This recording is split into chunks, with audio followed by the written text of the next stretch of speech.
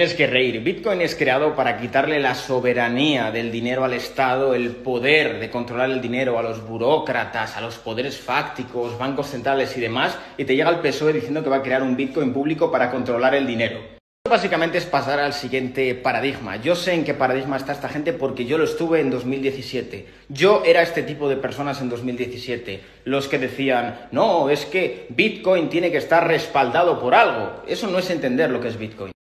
Bitcoin está respaldado por matemáticas. No hay nada más seguro y nada más incorrompible que las matemáticas. En cambio, los burócratas nos han demostrado que son muy fáciles de corromper. Como bien os digo, esto es cuestión de paradigmas. Cuando tú vives en el paradigma de el Estado debe respaldar todo, controlarlo para dar seguridad, pues bueno, evidentemente no entiendes Bitcoin, porque Bitcoin es plenamente antisistema. O sea, es cargarte el sistema, es mearte en los bancos centrales. O sea, es normal que no lo entiendas, pero tienes que salir de ese paradigma estatista. Comentado alguna vez, yo cuando empecé a invertir en Bitcoin tenía plenamente motivaciones económicas, me guiaba por el precio y el crecimiento que estaba teniendo, pero con el tiempo, según fui profundizando en Bitcoin, leyendo sobre Bitcoin, entendiendo Bitcoin, que es lo que le hace falta a mucha gente. Hay mucha gente que está en el punto de invierto en Bitcoin por motivaciones económicas, que no está mal, se puede ver como una inversión y Está bien, está bien, no hay ningún problema. Pero cuando tú verdaderamente entiendes Bitcoin, lo que aporta Bitcoin, lo que es Bitcoin,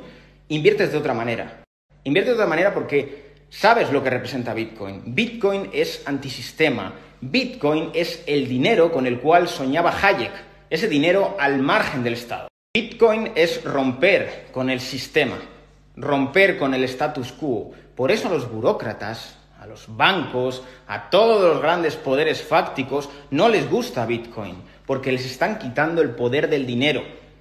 Bitcoin es revolución. Bitcoin, de verdad, es verdaderamente antisistema, es mearte en los bancos centrales y en los burócratas. ¿Qué dicen los burócratas? No, es que Bitcoin debe de ser respaldado por algo, debe de ser regulado. Fijaos, ahí está su problema que no tienen poder sobre ello. Y como no tienen poder sobre ello, no lo acepten hasta que le den poder sobre ello. Necesitan controlarlo. Cuando Bitcoin nace precisamente para quitarles ese poder. Lo que la mayoría de personas no se da cuenta y es que el Estado te quita libertades mediante el miedo. Incentivan ese miedo para ofrecerte, a cambio de tu libertad, seguridad. Con la excusa de la seguridad, histórica se ha quitado muchísimas libertades a la población.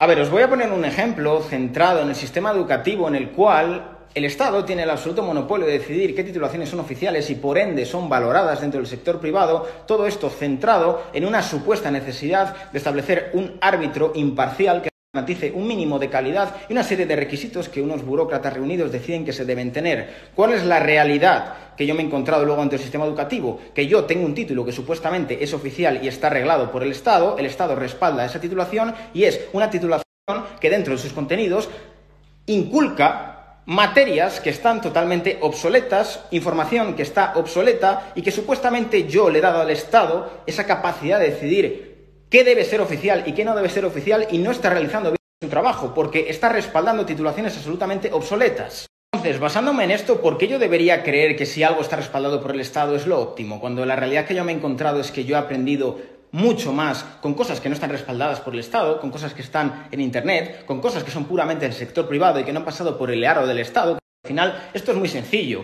¿Quieres que el Estado respalde tu formación? Pues tendrás que agradar a los burócratas para que te pongan el sellito de esto es una titulación oficial. Al final, esto se convierte en una mafia, en cierto modo, de si me caes bien y pasas por el aro que yo quiero, yo diré que tu titulación es oficial. Si no me caes bien y me haces competencia dentro del sector privado a mi monopolio de la educación, entonces diré que tu formación no está arreglada y que por ende no es oficial. Y esto automáticamente le quita valor en el sector privado. Formaciones en el sector privado que le dan 500 vueltas a cualquier formación que te puedas encontrar reglada por el Estado, pero como no tienen el sellito de estar respaldado por el Estado, no son valoradas. Entended que no confía en el Estado, entendedlo. El problema es el paradigma en el cual se vive, y hay mucha gente que vive en el paradigma de que todo lo que venga del Estado, por ende, debe ser bueno. ¿Por qué? Porque el Estado es un ente superior, un ente con una inteligencia superior a todos nosotros, que hace todo por nuestro bien. Tiene una bondad absoluta, el Estado nunca va a hacer nada en mi contra, porque el Estado quiere cuidar de mí. Esa visión paternalista del Estado. personalmente me parece una mentalidad de siervo, de creer que todo lo que venga del Estado automáticamente debe de ser bueno, como, bien os digo, como si fuera algún tipo de inteligencia superior con una bondad infinita. La realidad es que es una serie de burócratas que en muchos casos están motivados por poder, que son corruptos, que se mueven por sus propios intereses políticos. Para nada les importa a la gente. El problema es que la gente tiene una visión del Estado totalmente idealizada. Este adoctrinamiento ya viene de muy atrás, ya con Franco ya existía. O sea, si miráis la propaganda que decía Franco en este sentido, al final lo público siempre era lo mejor. O sea, es como todo lo que venga del Estado es bueno. Por eso en España no se discute lo público. Por eso nadie pone en tela de juicio el sistema de pensiones. Nadie hace un poco de crítica a todo aquello que huela a público. En cambio, todo lo que venga del sector privado es concebido como el diablo como si fuera malo, como si el ánimo de lucro perjudicara al ciudadano, cuando la realidad es que el ánimo de lucro precisamente lo que motiva es servir al ciudadano, porque si tú tienes competencia, las empresas se van a pelear por satisfacerte mejor. ¿Por qué? Porque si no, no le compras y le compras a otro. Al final, los entes públicos sirven a los intereses de los políticos de turno que controlan a estos entes públicos. ¿A quién iban a servir si no? ¿Al pueblo? el sector privado es el que verdaderamente sirve al pueblo, porque si no sirve bien al pueblo, la gente deja de comprarle y se van a otro. No tienen motivaciones políticas. Si tú te vas a un ente público y te tratan mal, tienes que esperar mucho, son ineficientes, hay unas colas brutales o no te dan un buen servicio, te jodes porque tienes que pasar por ese aro, porque es un ente público que no tiene competencia en ese sentido te tratan mal en la administración pública de turno, no te puedes ir a otro. Es lo que hay, tienes que pasar por el aro. En cambio, en el sector privado, si tú vas al día y en el día te tratan mal o te suben los precios, te vas al Mercadona. Y si en el Mercadona te tratan mal, te vas al Carrefour. Entonces, el sector privado tiene la obligación de servir de forma adecuada al pueblo, porque hay competencia. Y si tú no sirves bien al cliente, el cliente se va a otro establecimiento percibe el ánimo de lucro como si fuera algo negativo para el ciudadano, cuando más bien es todo lo contrario. Al final lo que motiva es tener más eficiencia, mejores precios y fomenta la competencia. Y eso beneficia al ciudadano. Precisamente uno de los grandes problemas que hay en España en cuanto a la administración del dinero público es la absoluta ausencia del ánimo de lucro. De ahí el despilfarro de los fondos públicos, porque como no es de nadie, no se responde a ningún criterio de eficiencia o de rentabilidad pues se despilfarra dinero público. Y esto lo que fomenta son entes públicos absolutamente ineficientes para el ciudadano. Estás financiando entes públicos que no te sirven de forma adecuada y que son absolutamente ineficientes. Pero como no se responde a ánimo de lucro, aquí lo que se quiere es el máximo presupuesto posible y fundir ese presupuesto. Porque si digo que me sobra presupuesto, me lo recortan. ¿Y habéis visto algún ente público decir, me sobra dinero, quitadme presupuesto? Nunca ocurre. ¿Ha visto a un ente público decir, creo que no realizo una actividad que sea merecedora del dinero del contribuyente y por ende creo que lo mejor que podemos hacer es cerrar este ente público? ¿Alguna vez habéis visto eso? ¿Habéis visto eso con el Ministerio de Universidades? ¿Habéis visto eso con el Ministerio de Consumo? ¿Con el Ministerio de Igualdad? ¿Lo habéis visto?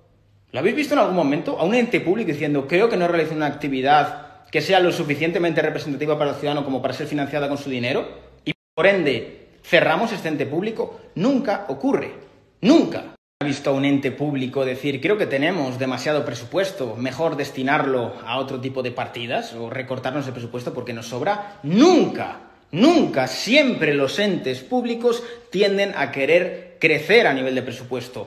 Cuanto más dinero tengamos, aunque nos sobre, mejor. No responden a ningún criterio de eficiencia ni de rentabilidad y esto perjudica al ciudadano. Sobre todo esa mentalidad de no, lo esencial debe de ser controlado por el Estado, porque si no, el malvado, el sector privado, ¿qué hay más esencial que la alimentación?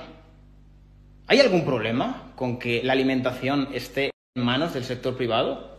¿Alguno mm, no podéis comprar en el Carrefour o en el Mercadona o en el Día o en el Alcampo? ¿Tenéis algún problema? O sea, ¿vienen los malvados empresarios a subiros los precios para que os muráis de hambre? Algo más esencial que la comida y está totalmente dominado por el sector privado? Además que el sector privado en este sentido es plenamente democrático. Las empresas que triunfan son las empresas que el ciudadano medio elige porque le sirven mejor. No hay nada más democrático que el mercado. Yo por eso celebraba cuando se acabó el monopolio de Renfe, porque creo que esto beneficia al ciudadano. Antes, si Renfe te servía mal, te jodes, porque no hay alternativas. Pero con la entrada de capital privado hay competencia. Y esto obliga también al sector público, si quiere sobrevivir y competir con el sector privado, a ponerse las pilas. La competencia es buena. Si el sector público se empezara a regir por las normas del sector privado y se empezara a ver todo con ojos de eficiencia y sobre todo de eficacia, todo iría mucho mejor. Evidentemente, con esto no estoy hablando del típico ejemplo que van a poner que yo me conozco, de, pero ¿y si una persona tiene cáncer? Eh? No es rentable a nivel económico, no le damos el tratamiento que necesita. No, en esos casos sí, pero en casos como pueden ser la atención primaria, ¿por qué no establecer criterios de eficiencia para mejorar este servicio? ¿Por qué no trabajar en colaboraciones público-privadas? El problema es que hay algunos que no les interesa esto. Fijaos lo que ocurre en el sector privado. En el sector privado, si hay un avance tecnológico que permite reducir plantilla y hace más eficientes los procesos, se implanta y ya está. En el sector público es como tienes una masa de funcionarios que no puedes echar y aunque tú hayas conseguido un método que puede reducir los costes para el ciudadano de ciertos entes públicos, Tú te ves obligado a mantener toda esa masa de funcionarios. Es una vergüenza que no se pueda despedir a, funcionarios, que haya que mantenerlos o recolocarlos. Eso es un insulto para el dinero del ciudadano. ¿Por qué hay que mantener a gente que es prescindible? Con metodologías o procesos que se pueden hacer con menos personas y con menos coste. ¿Por qué? ¿Por qué el funcionario debe de tener más privilegios que el trabajador del sector privado? De a mí no me pueden echar, ah, tengo una oposición. Aunque haya un avance tecnológico que me haga prescindible, da igual me tienes que seguir manteniendo porque soy funcionario. ¿Por qué tienen más privilegios que el ciudadano medio que trabaja en el sector privado? Se deberían jugar con las mismas reglas, exactamente las mismas reglas. La realidad es que son un lastre para el país. A mí me parece una falta de respeto para el contribuyente el mantener a personas que podrían ser prescindibles dentro del sector público por el hecho de que tengan una oposición. ¿Por qué deben tener privilegios por encima del que trabaja en el sector privado? El del sector privado no tiene ese nivel de protección. En cambio, Tú, por sacar una oposición, ya tienes un trabajo garantizado prácticamente de por vida, en un lado u otro. Aunque seas un lastre a nivel económico, hay que mantenerte. Eso se debe acabar. Esos son los verdaderos enemigos del ciudadano medio. Aquellos que no prestan un servicio que sea necesario o que sea óptimo para el ciudadano medio y aún así el ciudadano medio tiene que mantenerlos por el hecho de tener una oposición. Esos son los enemigos del pueblo. Esos que jamás van a renunciar a ese trabajo. ¿Tú crees que van a renunciar aunque sepan de forma manifiesta que no están realizando una tarea que sirva al ciudadano? No van a renunciar a su trabajo. Y lo vas a tener que seguir manteniendo. Ese es el mayor lastre que tiene España. En el sector privado, si tú ofreces un servicio que nadie quiere o que a nadie le gusta o que lo haces fatal o hay otra empresa que lo hace mejor, tu negocio quiebra y desapareces. En el sector público, no se puede hacer nada. Que eres ineficiente, que no prestas servicio a nadie, que no generas ningún tipo de bien. Da igual, hay que mantenerte. Soy funcionario, tengo una oposición, eso ya me da privilegios sobre ti. ¿Por qué creéis que yo me gano tantos enemigos? Porque evidentemente hay mucha gente que vive muy cómoda en este status quo y haciendo que el resto del país les mantenga. El que venga yo a decir hay que quitar funcionarios, hay que despedir funcionarios, hay que optimizar entes públicos, pone muy nervioso a toda esa masa de estatistas que viven muy bien de tu dinero. ¿Por qué los medios de comunicación me tienen tanto asco? Porque yo les quitaría las subvenciones. Tú no tienes por qué financiar un ente privado. No hay que financiar empresas privadas. No hay que rescatar empresas privadas. Si un ente privado quiebra, no hay que rescatarlo. El ciudadano no debe financiar a empresas privadas de forma coactiva por la vía del Estado. No hay que rescatar empresas privadas. ¿Por qué tiene que haber cuatro vicepresidencias? ¿Por qué tiene que haber miles de asesores? ¿Por qué nadie discute esto? El día que el sector público se empiece a regir por normas del sector privado, todo irá mucho mejor y habrá dinero para las cosas realmente importantes. Los que perpetúan este despilfarro son los verdaderos enemigos del pueblo, porque están dándole dinero a personas que no prestan un servicio al país y que están mamando el dinero del contribuyente para quitárselo a actividades o partidas que verdaderamente sí sirven al ciudadano. Son un lastre para el país. El funcionario que de forma consciente sabe que no hace un trabajo que sirve verdaderamente al ciudadano, es el verdadero enemigo del pueblo, porque tú, con tu nómina, le estás quitando dinero a actividades del sector público que lo necesitarían mucho más que tú. Señores, hay que pedir responsabilidades a los que viven del dinero ajeno y exigir eficiencia, eficacia y respeto al dinero del contribuyente, que no se malgaste dinero y se respondan a criterios de eficacia y de eficiencia. El mayor problema que tiene España y la mayor batalla que tiene España es la batalla entre la España que vive de su propio dinero y la España que vive del dinero ajeno. ¿Cuál es el problema? Que hay una serie de partidos políticos a los cuales les interesa que haya personas que dependan del dinero del Estado, que extraen dinero de la España productiva para comprar votos, introduciendo a personas dentro de la maquinaria de las redes clientelares del Estado.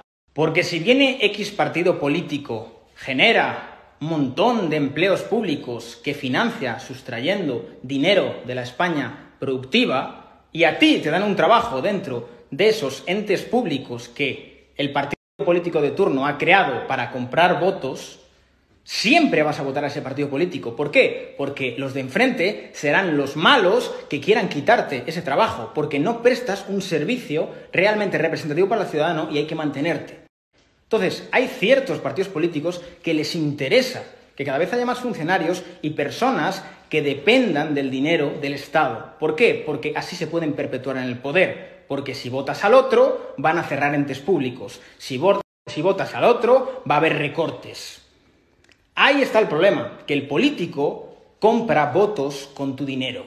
Al final se genera una guerra a nivel interno dentro del país entre los que están hartos de pagar impuestos asfixiantes por todo y los que no quieren dejar de mamar. Porque claro, ¿me vas a quitar a mí mi trabajo en el PSV que me ha puesto el partido político de turno? Con lo bien que vivo aquí, entrando cuando me da la gana, cafecitos de una hora, nadie me controla. Esa es la verdadera lucha. Esa es la verdadera lucha y esos son los verdaderos enemigos del pueblo los que viven del dinero ajeno y no prestan un servicio a la altura y representativo al ciudadano medio, que es el que tira del carro.